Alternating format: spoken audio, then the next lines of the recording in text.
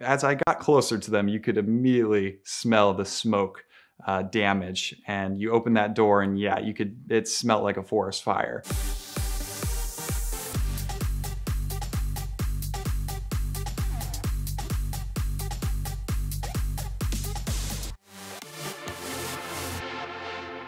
When you're looking at cars at salvage auction, you'll notice there are hundreds of thousands available at any one given time.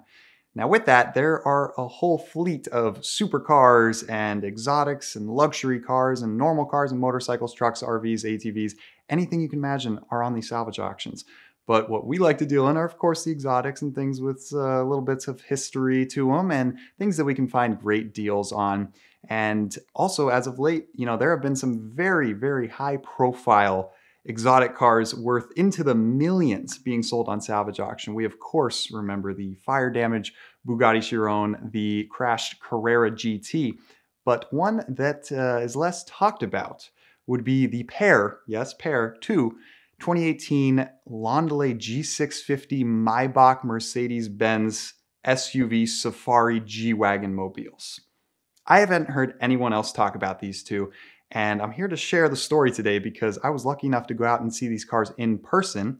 I know some of the backstory on them, but there's still a lot to still be unraveled, and that's where I hope the whole VinWiki community can shed some light. You and everybody can hopefully find these VINs and find out more of what happened and how these $1.5 million G-Wagons got, let's say, fire damaged and sent to salvage auction to be sold to the highest bidder.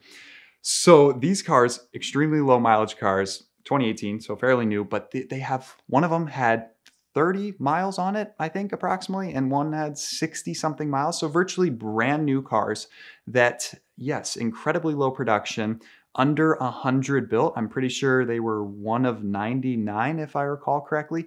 I don't believe any were manufactured or sold to the US. I believe they were all in Europe and the Middle East. It's a very Dubai kind of uh, vehicle. And I believe these two cars were originally sold to Dubai and then somebody wanted them in the US and maybe went through the federalization process and the U and you, you know the dot specifications to get them into the US. Somehow they were imported, but I think somewhere along the way with this import, everything went wrong.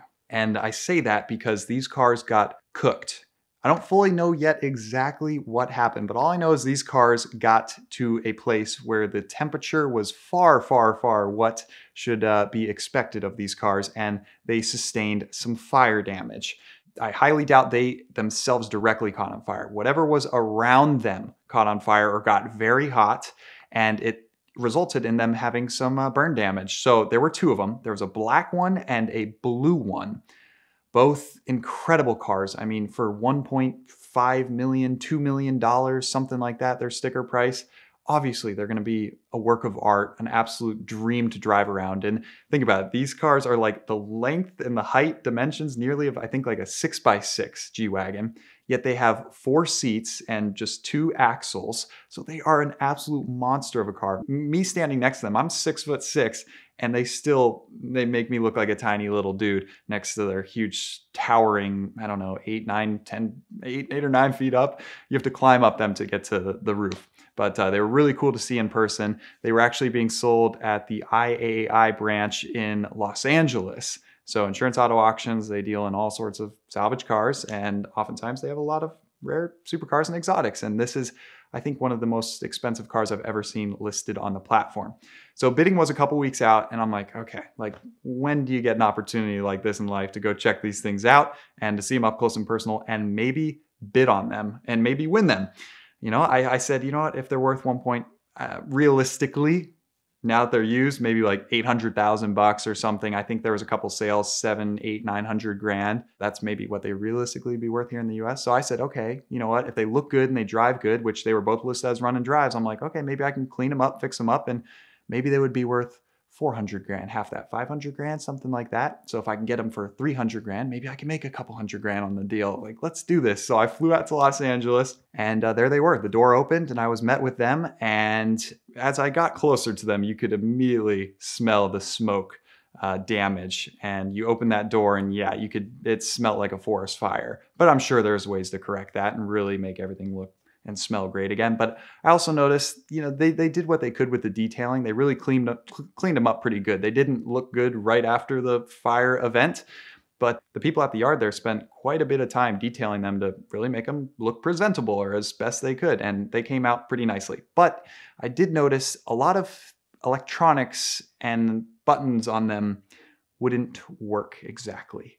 So the convertible tops, I think I tried to hit those buttons. They didn't seem to want to go. The black car, the entire gauge cluster wouldn't light up. So even though the car would start, nothing would light up. You literally go to jump it, it'll fire right up, sounds wicked. It had the six liter twin turbo V12, 621 horsepower, 738 pound feet of torque or something. Monsters of engines. And they fired up to life, sounded great, but the screen on the black one wouldn't light up. And then all of a sudden, like the HVAC system had a mind of its own. It would just start blasting cold air conditioning, even though you didn't touch anything.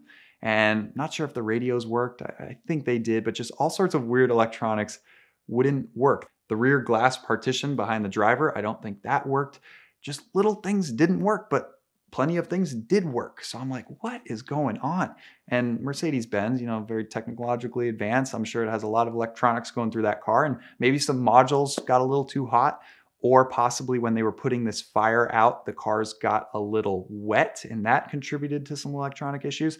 But just really bizarre. They would go into gear, they would move, and they ran really well. But also in the engine bay, there were a lot of like clamps, like any engine bay, but they were like rusted out. They were like all corroded up.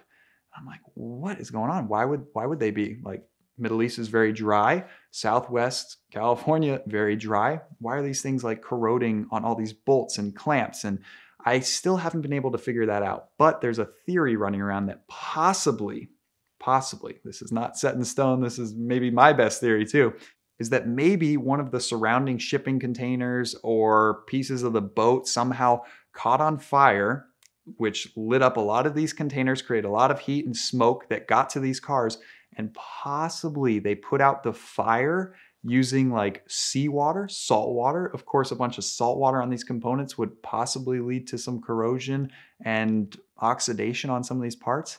Maybe that's what I was told by one guy. And I'm like, oh, that's an interesting theory. And I heard from another guy, and I kind of thought this for a while that they were, you know, they arrived at whatever port, Port of Houston possibly, and then from there they were getting ready to be put on like an 18 wheeler or some transporter, and then the transporter caught on fire, resulting in the fire damage on the cars. I don't know which story is correct. It could be a completely different story, and that's what I want the VinWiki family to go to work and to figure out what exactly happened to these multi-million dollar trucks and really put this story together. But ultimately, after seeing them in person, the bids were at around 150 to 200,000 dollars. So I'm like, cool. I think we placed a few bids up to like 200, 225, just like no brainer, like good deals, right? But uh, we were quickly outbid, and I realized real quick they were going to show up to bid on these ones. So I didn't even participate in the live auction because it was already at 300 and something thousand dollars. But I was happy to watch. You know, I want to see what these would go for. And ultimately, I think they may have sold to the same person in Florida, I believe was the final bid. One sold for $437,000, and I the black one. And I believe the blue one sold for a little more, maybe like $475,000. Plus, you got to consider there's buyer's fees. So, approximately four, five, six percent buyer's fees, depending what level you're at. What is that? Almost $20,000 in fees. Now you're talking one sold for about half a million dollars. Half a million dollars for a car with a salvage title burnt and with some damage that still needs to be fixed. You know, plenty of the buttons, the electronics, the quarter panel, the carbon fiber fenders, right? Those got heat damage and they need to be refinished. Some paint work needs to be done. Some wheels, the tires just melted on the blue one. The spare tire was completely melted. The smoke damage in the interior needs to be addressed. So there's still a lot of work that needs to be done. So I was not a buyer at half a million dollars, but I, I, at least gave it a few tries in the quarter million dollar range. Didn't come away with them, but I know they're probably going to come back to life. Maybe they'll be sent back to the Middle East where the market is probably a little stronger for them. Maybe they'll stay here in the US, get fixed up. I'm not sure what's going to happen, but we gave it a try and it made for a great story nonetheless, even though we didn't win them. We'd like to thank Patrick Adair Designs for their support of the VinWiki channel this month. Patrick and his team create some of the most amazing rings you've ever seen out of the most interesting materials on Earth, and I guess from space at times because they do also use meteorites and superconductors and all this crazy stuff, interesting metals, even at times parts from broken exotic cars. This one was made out of some carbon fiber and some aluminum from the barrel of a broken LP640 wheel off a car I used to own. This year we're going to do some more exotic car part collaborations with different ring ideas, so be sure to stay tuned for that. You've also seen Patrick sitting right here in this chair telling some of his best car stories and he'll be back to tell some more. Patrick has also documented his journey of entrepreneurism and some of their ring projects on his own YouTube channel, as well as some of his amazing car projects. So check them out and visit them at the link in the description below. Use the code VinWiki20 for a 20% discount and thank them for their support of VinWiki.